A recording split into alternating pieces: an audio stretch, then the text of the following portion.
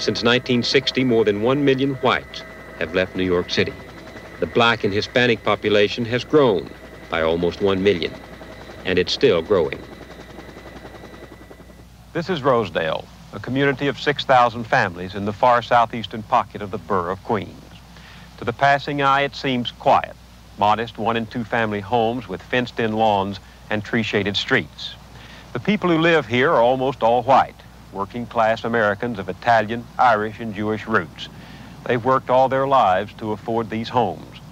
Many came from the inner city, refugees from neighborhoods in the Bronx, Brooklyn, and South Jamaica.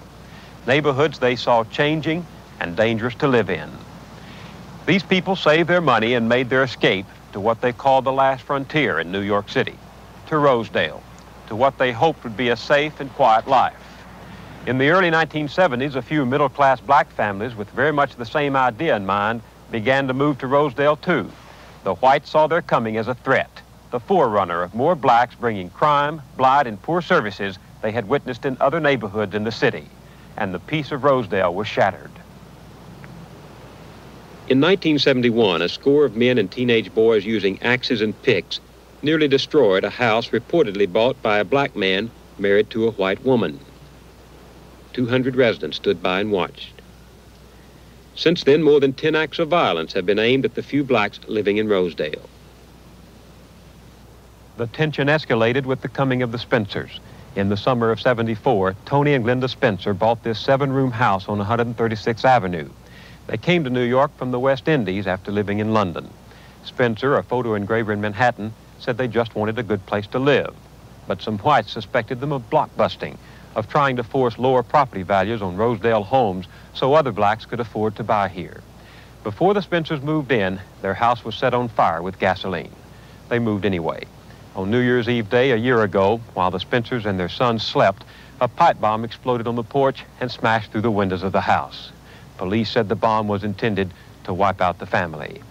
Attached to the bomb was a note that read, Nigger be warned. We have time. We will get your firstborn first. It was signed, Viva Boston, KKK.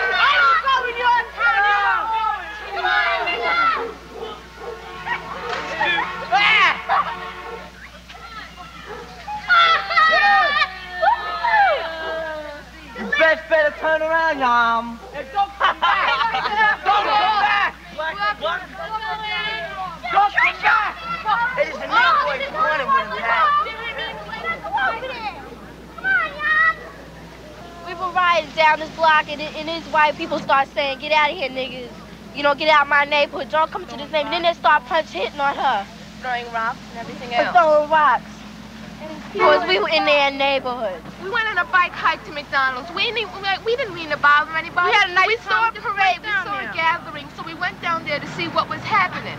All right. I mean, we didn't bother anybody. We weren't looking for trouble. I never even know people around here were like that. I've never experienced anything like this in my life. What happened to you? Nothing happened to me, but this little boy, short boy about his, my size, or little short, had picked up a rock, and he was in the front of all these tall hunkies. But he, he threw the rock. He, he tried to hit me, my sister, but he almost hit me about that much away from me. And I was sure wish he had hit me with that rock. I would pick up the rock right next to me and hit him right dead in his face. They always say niggas are doing everything. We they always say we're doing everything, right? We don't. We didn't. Every time the white people come down block, we don't push them out their neighborhood and throw rocks and start hitting them. We don't bother the white people around our neighborhood, but when we get in a white neighborhood, they they just push us Treat out. Like yeah. Everybody a was. They said we're nothing, you know. They were a piece of dirt, dogs. I mean, that's the way you treat an animal. I mean, God, we're human beings. You don't treat other people like that. It's just wrong. Black, white, I don't care. A person is a person. Skin should have no bearing on how you treat a person. That's just wrong. I hate their goddamn guts.